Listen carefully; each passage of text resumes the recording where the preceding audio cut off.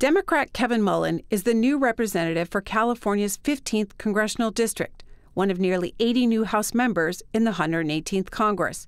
He told C SPAN about the advice his predecessor, former Representative Jackie Speier, gave him coming into the job, and about what he was doing in state and local government before being elected to Congress. So I was a California State Assembly member. I was the Speaker Pro Tem of our California State Assembly, the number two officer in the Assembly uh, for 10 years. And prior to that, I was a City Council member and mayor in the city of South San Francisco, which uh, we like to remind people is the birthplace of biotechnology. Uh, if you fly out of SFO, uh, you'll see South San Francisco, the industrial city, big white letters uh, on our sign hill. Uh, that is my hometown, and I was a small business owner before that. Um, I had a small communications business, and I was a legislative aide uh, to Jackie Speier, my predecessor in Congress, uh, when she was a state legislator. I worked for her as an aide. Did she give any give you any advice when you decided to run for this seat?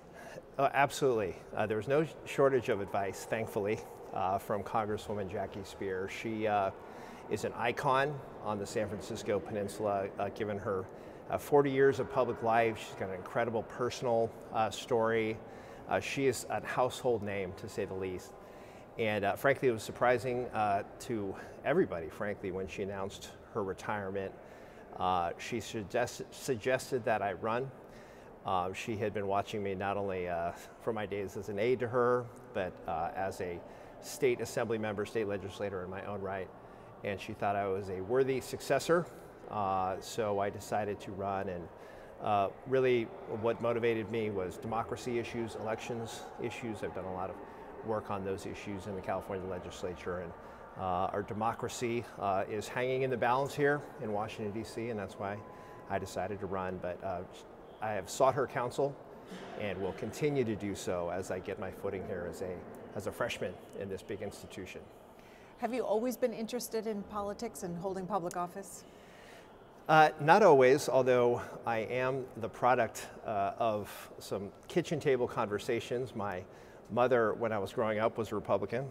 Uh, my father, a government teacher, is a civil rights uh, era liberal. Uh, government teacher, believed in civic participation. So undoubtedly that uh, rubbed off on me um, and continue to be interested in civic matters, obviously, as I find myself here at the Capitol. But uh, way back when, I was a mobile DJ. Uh, actually had the, uh, the DJ nickname Cutmaster Kevy Kev, if you can believe that. I wanted to be a club DJ. wanted to mix records and be a radio DJ. That didn't pan out.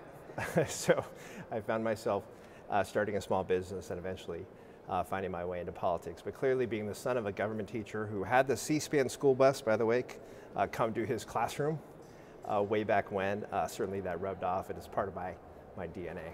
Mom still a Republican? Always a Republican? My mom is no longer with us. She did, however, convert to become a Democrat during the Clinton era. She loved Bill Clinton and became a Democrat. So there was some uh, unified uh, democratic uh, discussion uh, from that point forward. Where do you trace your democratic roots to? I mean, why are you a Democrat? Well, I, I believe in the role of government uh, in, in helping people. Uh, basically, public investment, I think, is, is crucial to building a better America. I think growing up in my father's household where civic engagement and the role of participating in one's government uh, was so central. I think that really uh, made me a Democrat. I think over time I saw just the role uh, that government can play in a positive way in people's lives uh, as we deal with these economic challenges, uh, uh, working people and lower income individuals who, who need assistance from the government.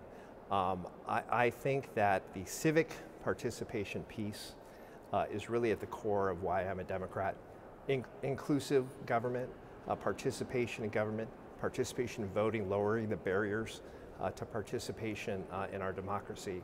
Uh, that is all uh, why I became a Democrat at 18 and am still a Democrat. Favorite artist, music? Favorite music artist? Wow, that's a challenging question. To the former because I have so many. You know, I, I'm so old school. Um, uh, I'm going to go back to my, my early DJ days. and Run DMC, which the, the younger staff here may not even uh, know that reference. uh, but uh, I was, when I began my DJ work as a mobile DJ, uh, inspired by Run DMC and some of the uh, early hip hop that dates back to the 80s now. So uh, that's, that's before their generation, but we'll, we'll go with that one for right now. I would say more broadly, U2 is my favorite band of all time, and hope to see them. I think they're back out on the road pretty soon. So I look forward to seeing them.